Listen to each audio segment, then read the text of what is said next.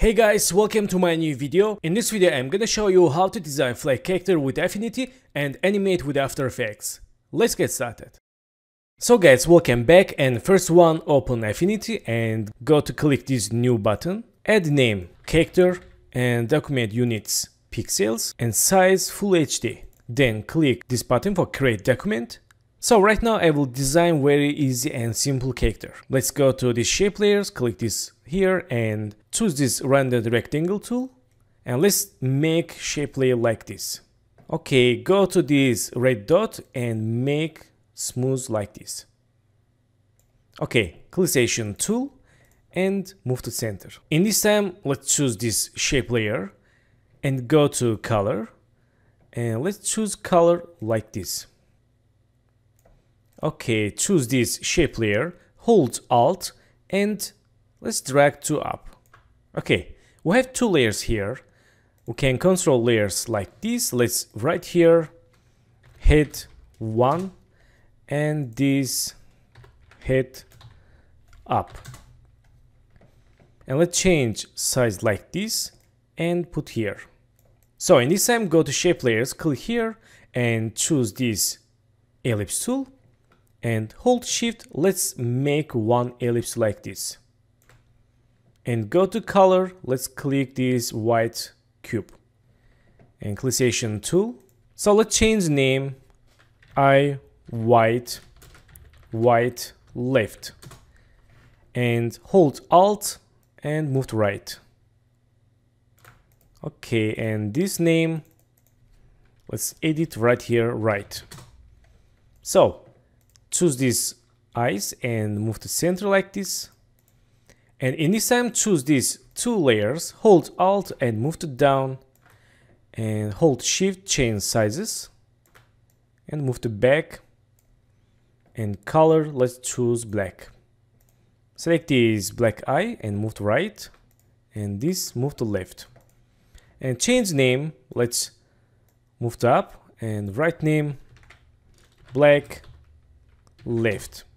And this black right. Okay and again let's go to shape layers click here choose this shape layer and let's hold shift let's create like this. This is muff layer and clickation tool and hold shift chain rotation and put here.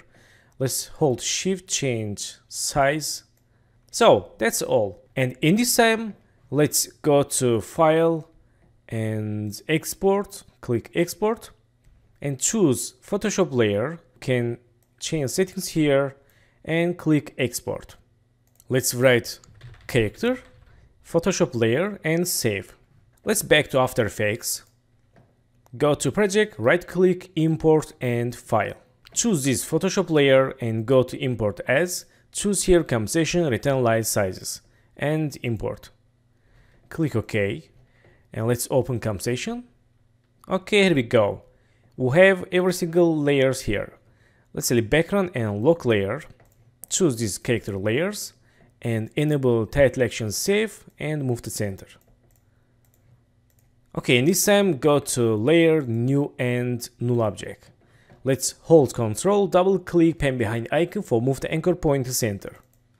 Clickation tool and go to window, enable align. Click this icon and this icon for move to center null object. And change name controller. Select this layer 7. Let's write here name muff. Okay, select muff layers and hit up, hit 1. Also eye layers, black layers, link to controller. Select controller. Let's see. Okay, in this time, let's create first keyframes. Select controller, press P and create new position keyframe, go to 10 keyframes. For shortcut you can press hold shift press page down in keyboard and move to right.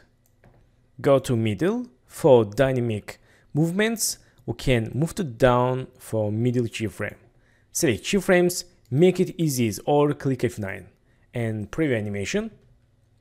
Okay, select this eye left link to I left right select I left right let's move anchor point center clickation tool and press s click size icon and go to middle. Let's create scale keyframe, go to 3 keyframes.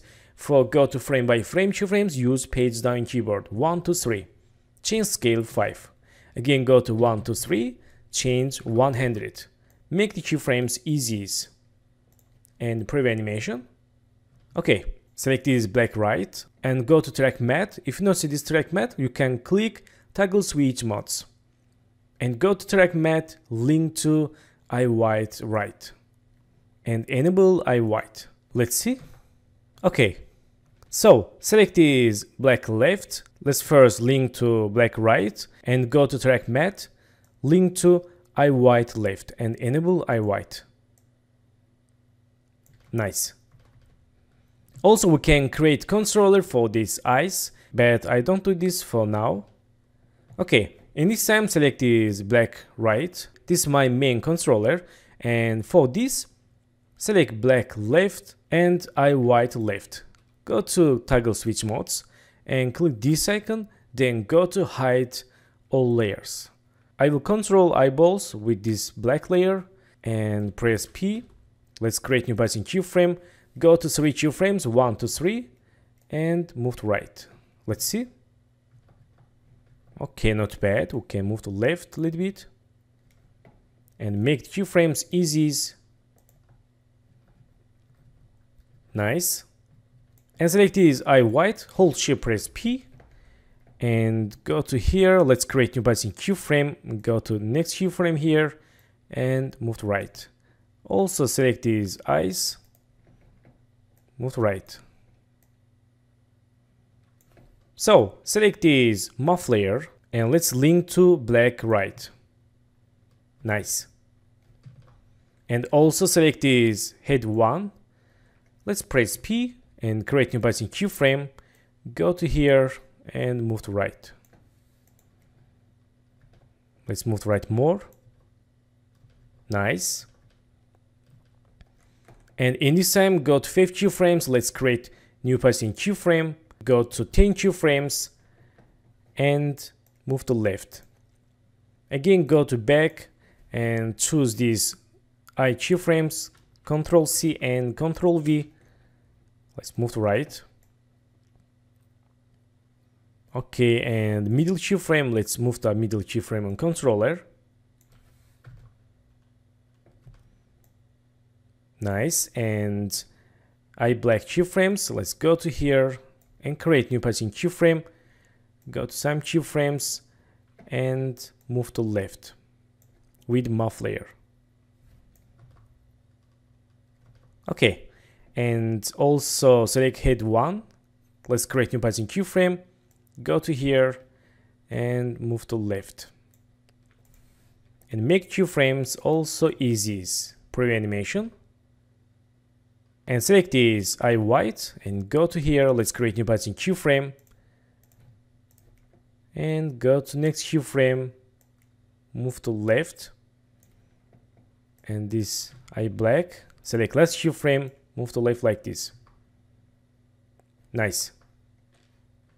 So guys, thanks for watching my video and don't forget to subscribe channel, like video, leave comments and have a good days. Good luck!